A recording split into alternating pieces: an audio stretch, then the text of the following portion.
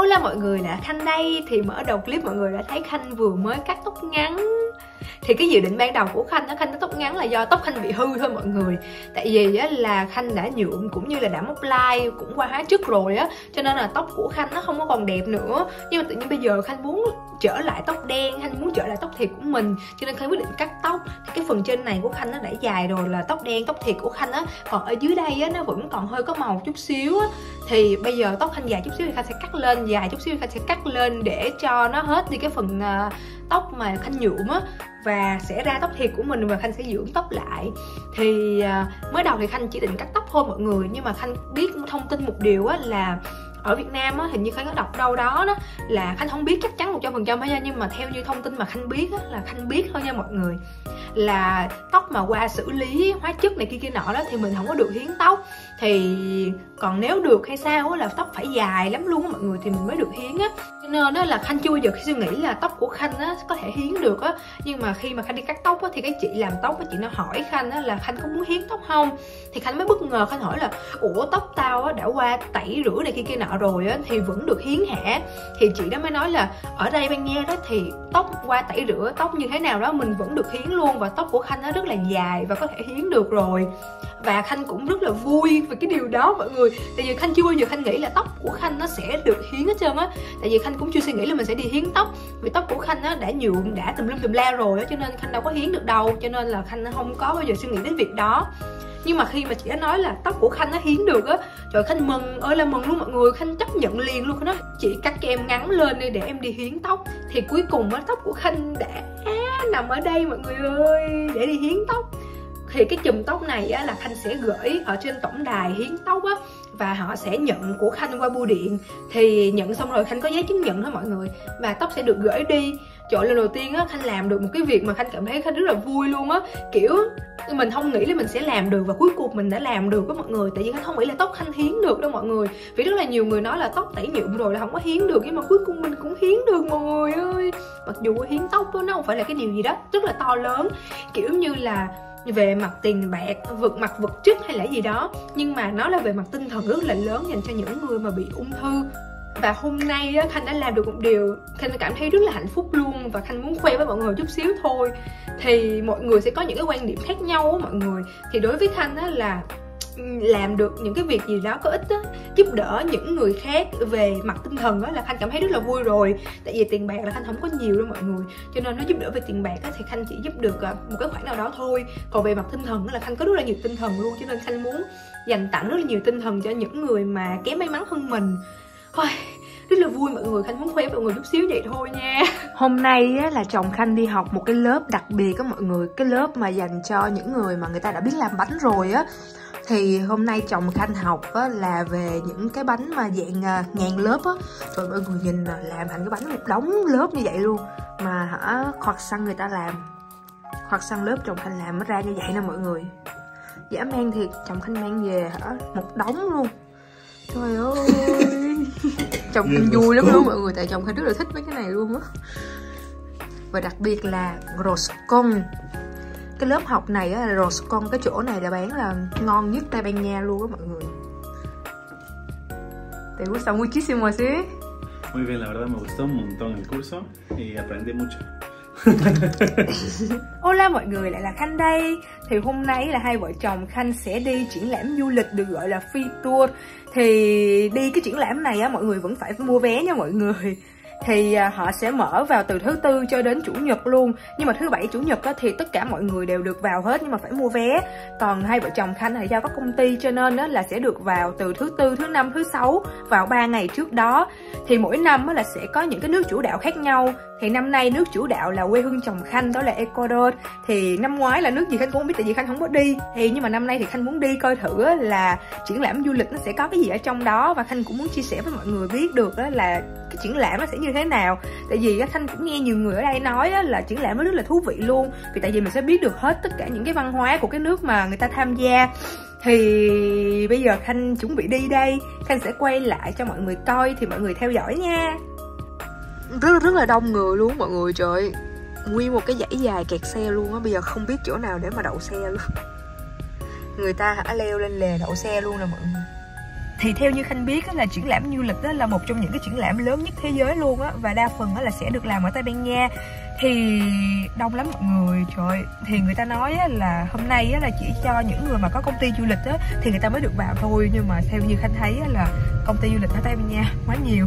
Tại vì không chỉ là nước tây ban nha không đâu mọi người, chỉ còn nước nước khác người ta tới nữa, cho nên nó là khá là đông luôn bây giờ là chồng khanh đang ráng vào cái bãi đậu xe của ngay cái chỗ mà người ta tổ chức luôn á. Nhưng mà không biết là còn chỗ đậu không? Nếu như không còn chỗ thì chồng khanh phải quay ngược lại và đậu xe ở ngoài. Nhưng mà ở ngoài khanh thấy nguyên cái con đường cũng hết chỗ luôn rồi. À, mà ở đây á, nó rộng lắm mọi người, rộng rộng rộng rộng, cực kỳ rộng luôn. Hồi đợt khanh có đi một lần rồi, trời là đi bộ đuối luôn á mọi người không biết là có Việt Nam mình ở trong không mọi người? Tại vì khanh nhớ là có một đợt đó là Việt Nam mình nó cũng có tổ chức á. Nhưng mà không biết là năm nay có Việt Nam không nữa? Ok, thì bây giờ tụi Khanh đã tới nơi và tụi Khanh đã có chỗ đậu xe rất là hợp lý. Nhưng mà tụi Khanh phải trả phí tại vì ở trong đây mình mà đậu xe ở trong cái khu vực uh, mà người ta tổ chức là mình phải trả phí. Và một tiếng là 2 đồng 85 euro mọi người cũng khá là mắc á. Nhưng mà thôi kệ không sao, vào thôi, let's go. Let's go. Bây giờ tụi Khanh không biết là tụi Khanh nên vào chỗ nào nữa mọi người. Tại vì có hai cổng vào nhưng mà cực kỳ lớn luôn. Bây giờ không biết vào chỗ nào luôn. Mọi người thấy không? Đây là một cái tòa. Đây là một cái tòa. Rất là nhiều tòa luôn mọi người. Và tất cả cái tòa này á, là đều có triển lãm ở bên trong luôn. Cho nên bây giờ tụi Khanh không biết là vào chỗ nào trước luôn á.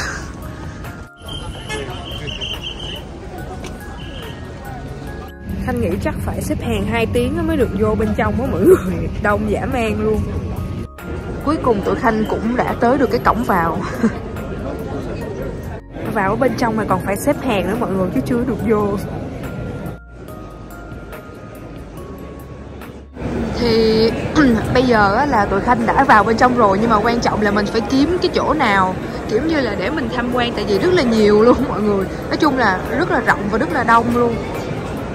Thì ở đây có Tim Horton của Canada nhìn thấy người mà thấy ngợp luôn mọi người đông dã man luôn bây giờ tụi thanh phải kiếm cái chỗ mà nó ghi số 1, số 2, số 3, số 4, số 5 gì đó để mà mình vào.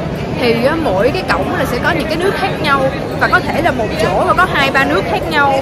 Bước vào thì tôi khanh thấy cái chỗ Mexico. Nước chủ nhà năm nay đó là Ecuador quê hương chồng khánh. đây là quần áo truyền thống của nước trồng khanh cho mọi người khá là dễ thương. Thì à, có bộ trưởng của Ecuador tới đây đó mọi người. Cái anh cao cao á trẻ trẻ bộ trưởng du lịch mọi người. Đây. Ảnh nhìn cũng khá bảnh tỏn hết chứ. Khu vực này á, là của người Mexico mọi người thì nếu như mà mọi người muốn đi du lịch đó, thì mọi người có thể đến đây tìm hiểu những cái thông tin của tất cả các nước ở đây.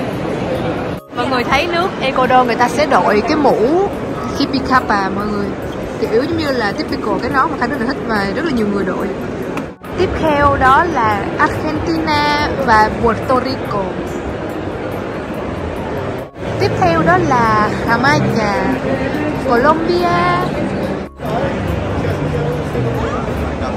là Panama. Ở bên đó là Chile. Và ở bên đây là Brazil. Và đây là Mỹ, mọi người. Estados Unidos. Tiếng Tây Ban Nha là gì? tiếp theo đó là Bolivia. Và đây là Paraguay thì ở bên đó mọi người đó là Peru, Costa Rica và đặc biệt là Cuba. Thì mọi người biết không? Cuba là nước của mojito đó mọi người cocktail mojito. Và người ta đang làm ở đó. Và đây là Uruguay.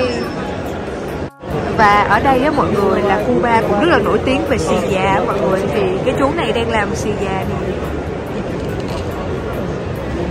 thì ở đây á mọi người sẽ có những cái lớp dạy à, làm đồ á có những cái lớp dạy ca cao là dạy những cái món ăn đó đặc trưng của Peru đó là ceviche. Thì nếu mọi người muốn tham quan á muốn coi á, thì đây là có số giờ nè thì cứ đúng cái giờ đó thì người ta sẽ làm và mình đến coi thôi.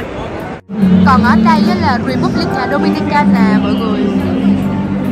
Thì thì ở Republica Dominicana mọi người rất nổi tiếng về du lịch luôn á và tại vì nó là vùng biển Caribe Santo Domingo, mọi người. Ở đó đó là Republica Dominicana đó. Thì cái chỗ này là du lịch rất là nhiều luôn đó là vùng biển Caribe, cho nên đó là đất nước này rất là nhiều khách du lịch.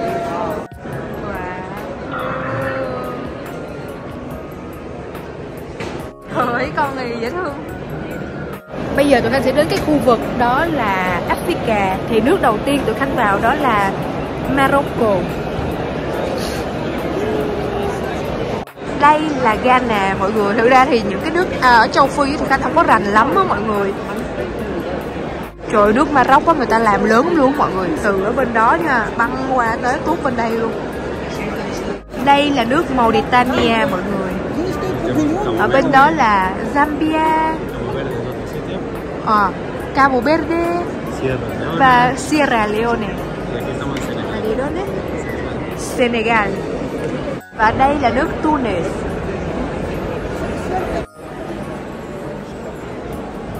Đây là Zimbabwe. Đây là một cái đất nước mọi người phải đọc đúng tên của họ và kiểu như là phải đọc hết nguyên cái tên luôn á. Được gọi là Republica Democratica del Congo. Trời chữ khanh đọc mà cũng bị thấy ghê ghê luôn á. Bây giờ thì tụi khanh sẽ qua đến khu vực hình như là của châu á mình đó bây giờ khanh sẽ qua thử coi thử có gì đây là tất cả những gì mà có trong hôm nay với mọi người và tụi khanh đã đi được uh, cái số 4 này đó là ủa no tụi khanh đi được cái Africa và America mọi người là tụi khanh đi được cái số 1 với cái số 3 thì bây giờ tụi khanh sẽ qua cái số 6 Yo creo que ahora vamos aquí al 4, que es Ajá. Europa, y después pasamos al 6, porque se conecta por aquí así. À hả. Thì bây giờ tụi Khanh sẽ không có đi Asia trước mà tụi Khanh đi đến cái Europa trước là EU. Sau đó thì tụi Khanh sẽ băng qua từ EU thì tới cái số 6 như thế này. Ok, bây giờ tụi Khanh sẽ đi tiếp. Đây là chú chó nghiệp vụ á mọi người. Thường á là mọi khi có những cái lễ hội gì á là công an lúc nào cũng dẫn theo mấy chú chó hết trơn á. Tụi Khanh đã vào khu vực châu Âu, Portugal. Bồ Đào Nha á mọi người họ làm rất là lớn luôn á. Trời ơi, dễ thương quá Có Disney ở đây nữa nè mọi người Vì với mọi người Disney á, là cũng có tàu nữa mọi người Tàu du lịch á, Disney Cruise Line Trời ơi Là họ đi qua tới, tới đâu ta? Tới Paris, tới Florida luôn Wow. Họ làm thành nguyên chiếc thuyền luôn nè mọi người. Así. Đây nè mọi người, trời dễ thương quá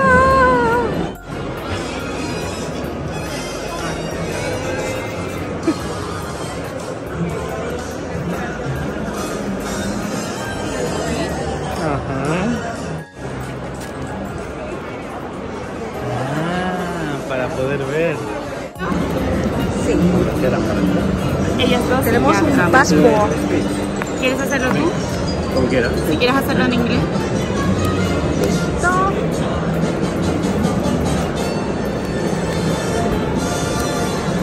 Gracias.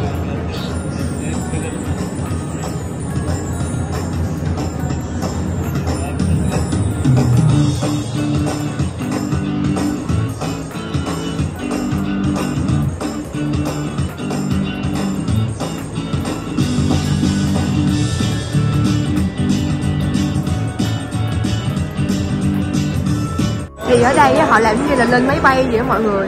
Thì mọi người vô trong đó là lên máy bay á nãy khanh vừa đi xong.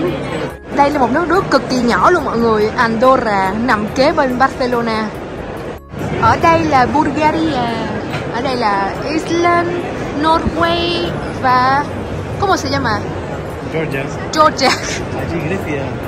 Greece.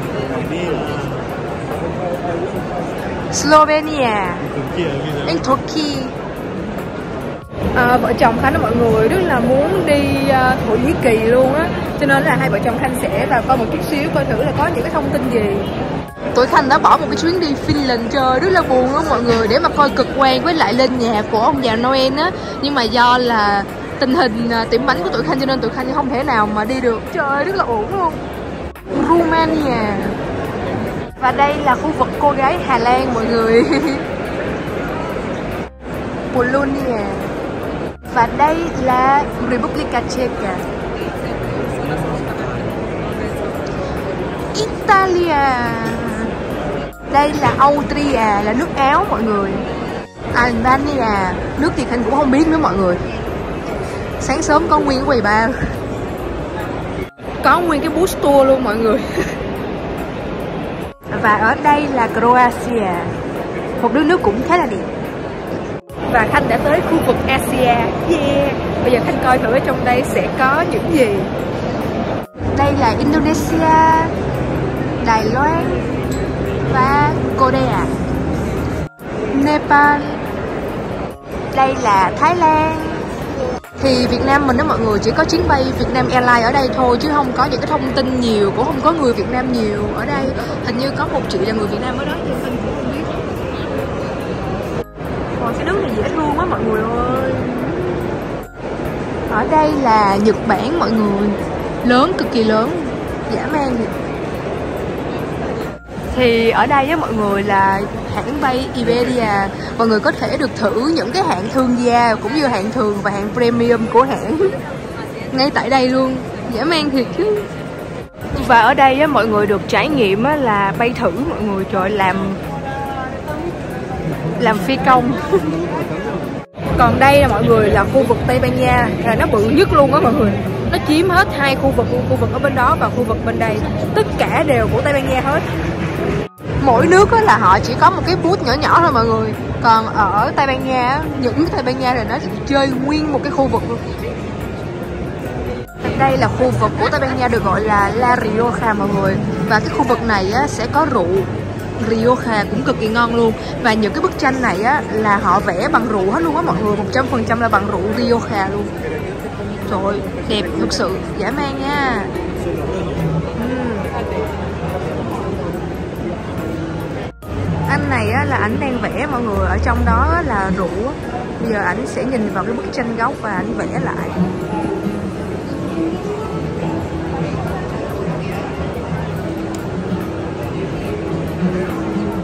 Và đây là phi tour của LGBT mọi người. Những cái cộng đồng của họ.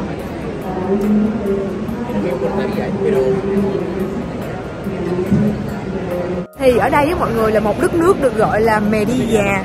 Thì mặc dù là đất nước này á, là nằm ở Africa nhưng mà nó thuộc của Tây Ban Nha. Mọi người có nhớ Sierra không? Và đây chú nó đang làm. Vì tại khánh đang ở khu vực. Morielo rót rượu độc lạ.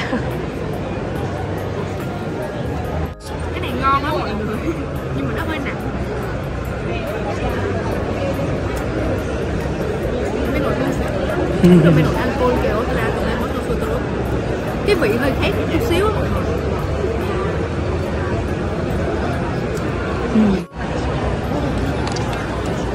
Menos dulce sí thì ở đây mọi người có một cái group được gọi là CCOO và UGT thì hai cái group này á hai cái group cực kỳ lớn luôn. Thì à, hai cái hội đó đó mọi người là hiện tại là đang đấu tranh cho người dân ở đây để mà có được uh, để mà có được cái cơ hội làm việc tốt hơn tại Tây Ban Nha cũng như là trả lương uh, lợi ích an nhân xã hội cũng như là lương hưu này kia kia nọ đó.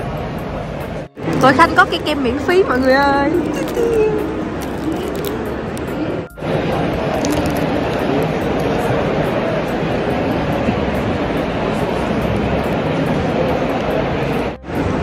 Barcelona, Catalunya. Thì ở đây á, đang có một cái lớp học làm paella một cái món rất là nổi tiếng của người Tây Ban Nha luôn. Ăn cực kỳ ngon khánh rất là thích cái món này. Ở đây á, là khu vực Castilla, La Mancha. Thì ở trong đó sẽ có những cái thành phố như thế này. Một thành phố tiếp theo được gọi là Ceuta. Thì cũng là một thành phố của Tây Ban Nha nhưng mà nằm ở khu vực Africa mọi người đây tiếp theo là khu vực Andalusia. Mọi người Andalusia thì rất rất rất là nhiều nước luôn à, rất rất rất rất là nhiều thành phố luôn. Sevilla, Malaga, Cordoba, Huelva, Jaén. Nguyên con ngựa luôn mọi người. Dã man thiệt viendo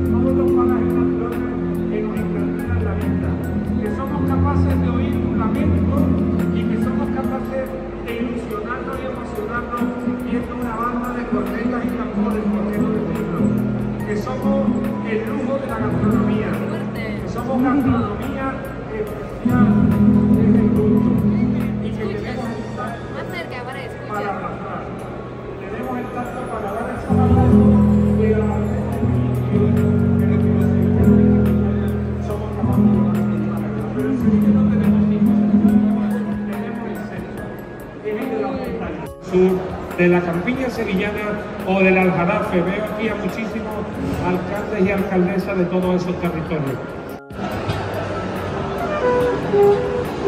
thì ở Ecuador mọi người cũng là một cái nước á, rất là nổi tiếng về hoa hồng luôn cho nên ở đây họ trang trí bằng hoa hồng không luôn á. Nhưng mà ở này là hoa hồng thiệt luôn á mọi người. Trời ơi, cắm hoa thiệt luôn nha. Thanh tưởng hoa giả. Hoa thiệt mọi người ơi. Và đây cũng là tất cả các loại hoa rất là nổi tiếng ở Ecuador luôn cực kỳ đẹp mọi người.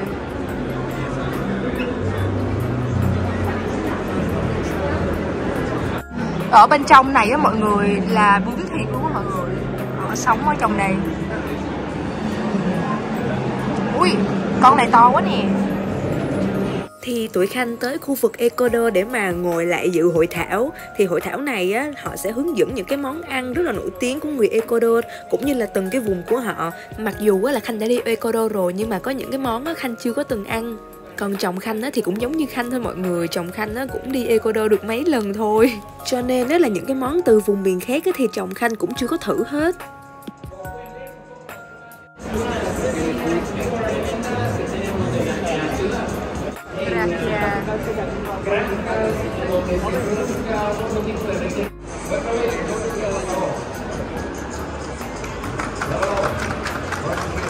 Bien, la preparación que, que hemos traído para que tengamos también una muestra de la cocina nuestra se llaman chumanes.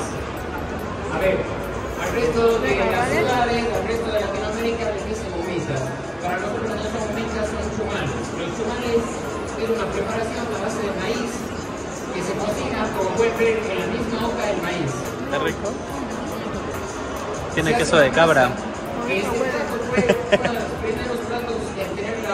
miel. la llegada de la colonia. Se le agregan los huevos, se le agregan los lácteos y eso es lo que le hizo uno de los que se los dejan secar al sol entre 10 a 15 días, lo que hace que sus almidones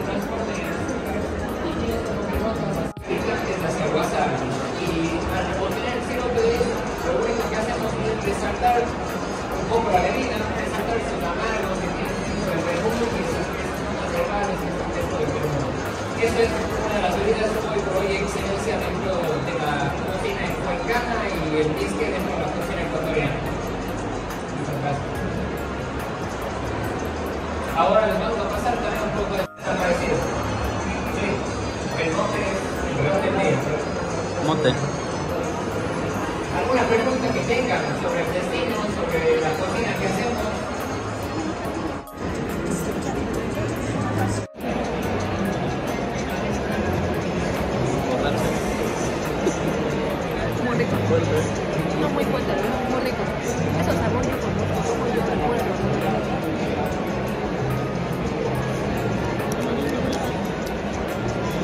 con tamalito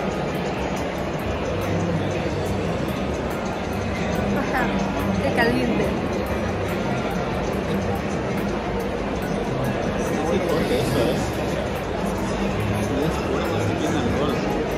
Después de ir a rojo.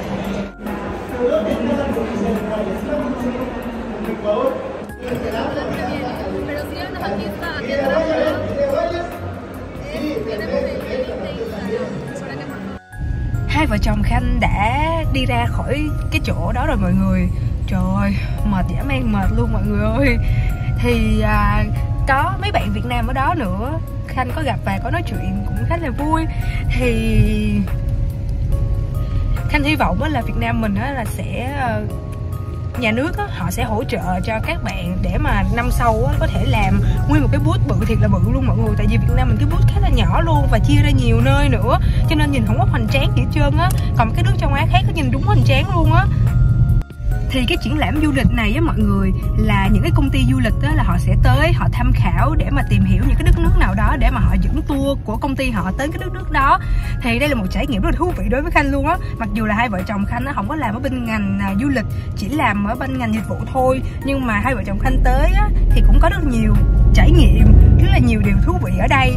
Thì tụi khanh tới như vậy cho biết thôi mọi người kiểu giống như là tụi khanh muốn trải nghiệm, muốn có thêm một ít kinh nghiệm về những cái hoạt động ở Tây Ban Nha này nọ. Thì, ok, khanh sẽ kết thúc cái video tại đây luôn. À bây giờ hai vợ chồng khanh sẽ đi ăn cái đó đói bụng quá từ trưa tới giờ chưa ăn gì hết trơn á. Bây giờ là đã gần 5 giờ chiều rồi đó mọi người. Tụi khanh đi từ lúc 11 giờ tới nơi xếp hàng khoảng ờ, một tiếng mấy, gần 2 tiếng. Sau đó mới vô bên trong, vô bên trong đi vòng vòng các nơi này kia kia nọ. Thì bây giờ là đã gần 5 giờ rồi, bây giờ là 4 giờ rưỡi. Thì bây giờ tụi khanh sẽ đi ăn hẹn gặp lại mọi người ở những video tiếp theo của khanh nha Yo también. mọi người nhớ subscribe kênh để ủng hộ vợ chồng khanh nha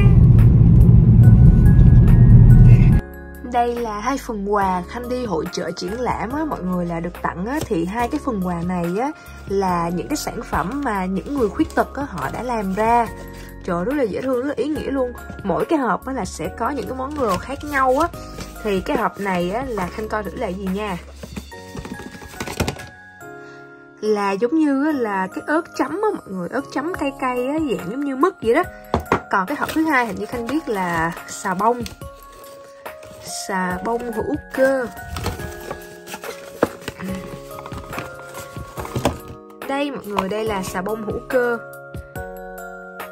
Romero Lost in your eyes, under your spell. Oh, it's like we've always known.